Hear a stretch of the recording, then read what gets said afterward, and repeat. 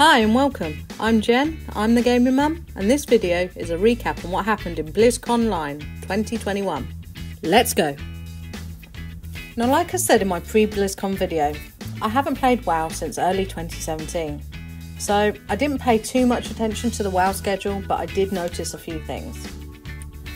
Now, like usual at BlizzCon, WoW was talking about a patch update with stuff that seemed pretty good. However, it's still not enough to make me want to return to the game. There are various reasons I haven't, the main reason being life, I guess, and that's a whole nother video. What was interesting, however, was the plans for Classic. Now, I started playing WoW towards the end of Cataclysm, so I've never experienced Classic WoW, and I haven't tried Classic as that would require a subscription to WoW itself.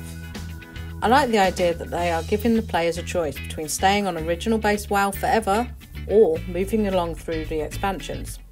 Yes, that's right. Blizzard announced that they were adding the Burning Crusade expansion, so you could go through the Dark Portal once more. I thought that was pretty cool. Of course, with the expansion, you get the choice of two new races and classes the Blood Elves, the Draenei, and the Shaman and the Paladin. Now, I do wonder though, how is this going to work moving forward? What expansion will Classic stop at? I wonder if it will be Wrath of the Lich King, as apparently that is the most loved expansion. But at some point, Blizzard will need an endpoint for the classic servers, or it's just going to catch up to the live version. As expected, Blizzard threw Overwatch 2 content fully in our faces. Now, I loved the glimpses we saw of the two maps, New York and Rome. They looked insanely fun to explore, and the designers have made them absolutely beautiful. If there is one thing that Blizzard have always been good at, it's world creation, in my opinion, anyway. Now, if I went into as much detail as I wanted on Overwatch 2, this video would probably end up far too long. So I'm just going to summarise here. PvP looks highly interesting. Now, in Overwatch One, I've barely done any PvP, as quite frankly, it's a bit boring. However, it does seem to have a lot more going for it in Overwatch 2. The hero missions are going to tell us more about the world Overwatch is set in, and this should have been in at the very beginning in Overwatch. The one thing the game was missing was all the lore right at the beginning when the game launched. We also found out that they have designed these missions as co op missions, aimed at those who don't want to play competitively. To me, that's a little odd, but I can see why. They want to pull in more to their player base the missions are designed to level up your heroes, and yes, that is correct, we level them up. And the plan is that none of these missions will feel like you're grinding. Now, the same maps as usual game modes will be used, however, it could have a different route or a whole new different area will open up. They're also planning on including various weather conditions as well as time of day, which gives you a lot of opportunities in different ways to attack enemies or NPCs. They also showed off some improved character designs. These included Reaper, McCree, Pharah, and Widowmaker. They look pretty good to me. They also commented a lot on the enemy design. They've been experimenting with enemies to make them do different things and react more brand new versions of enemies completely, for them to have weak spots, and so much more. The new enemy types will give us new things to think about and new ways to play the game as we progress through these missions. The game looks incredible, but the two things that Blizzard didn't offer that everyone was talking about and hoping for there was no beta and no release date. Jeff Kaplan said after to IGN that it would definitely not be anytime soon, not even this year. That's slightly concerning as they didn't talk about the original Overwatch at all, other than to say that the whole team are pretty much working on Overwatch 2. Now, Overwatch is a great game, but it's ha- not had any content, and skins re- in rehashed events don't count in my opinion, since Echo was released. Now, as I mentioned in my last video, I was so excited to hear about Diablo. Like I thought, the panels went in depth into the development of Diablo 4 and also Diablo Immortal, the mobile game, which I'll talk about a bit later. We know from the financial earnings call that Diablo wasn't coming this year, so it looks like 2022 at the earliest, though I do wonder if it is more likely 2023. The Diablo panels went in depth on the newly revealed Rogue class, which looks absolutely awesome. We also got a sneak peek at the Druid 2 and a glimpse of the Barbarian and the Sorceress again. Now, their aim is to make the Rogue a flexible class so you can tinker with it to suit your playstyle. The trailer also showed how much darker in theme the game will be, which suits me perfectly fine. The game does look absolutely beautiful from the trailer of the Rogue, and the class is interesting too. It looks like a cross between the Demon Hunter and an Assassin. They also mention PvP. Now, I'm not a PvP player on any game. It usually frustrates me as usually someone with a faster computer or console and faster internet. And where I live, that's much more commonplace than you think. They will get to you before you even spot them. Now, PvP in Diablo 4 is going to be contained to Fields of Hatred areas. There will be events in these areas, but you also have to watch your back as another player could decide you look too good to eat. As in this area, you will collect shards of hatred, which can then be purified and spent at a special vendor. It's high risk for high reward.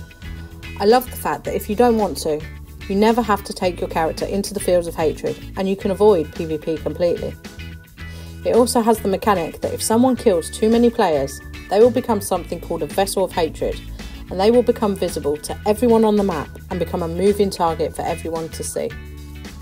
Now, I could go on and on about stuff shown in Diablo 4, but I need to talk about Diablo Immortal. Now, I know most people hated on this, so did I.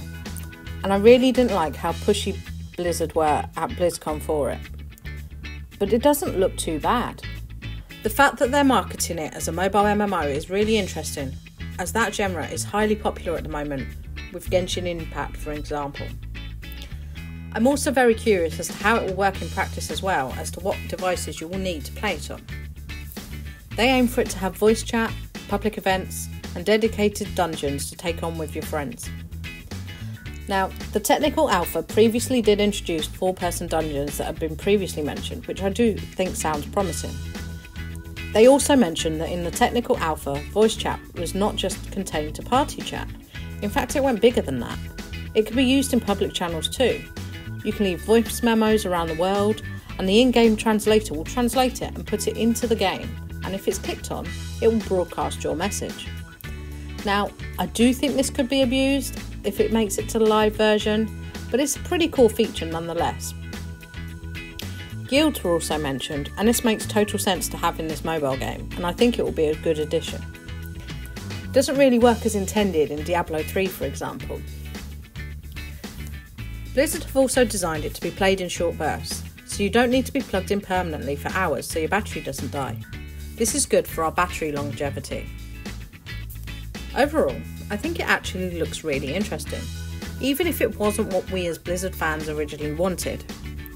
Now, I'll be keeping an eye on its development, that's for sure. It was said that it should be releasing this year, but since it's only just had a technical alpha, I assume it'll be closer to Christmas release time if everything goes according to plan. Of course, we can't talk about Diablo without talking about the announcement of Diablo 2 Remastered.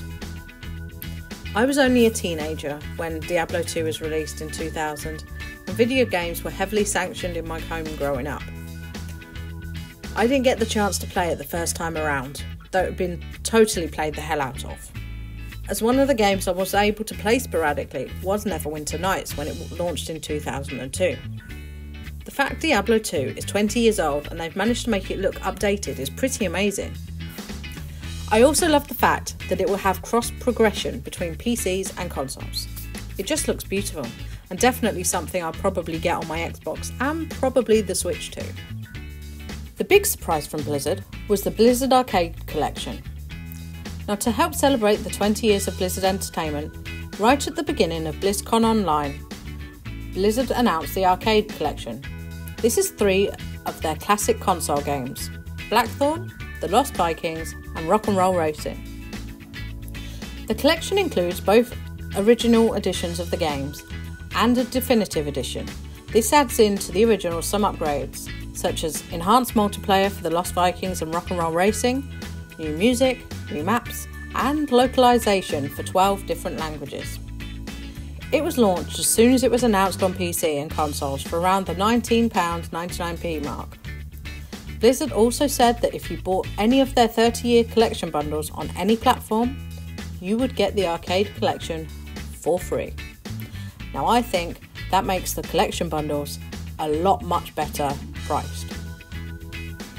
So, what do I think about this BlizzCon or BlizzCon Online?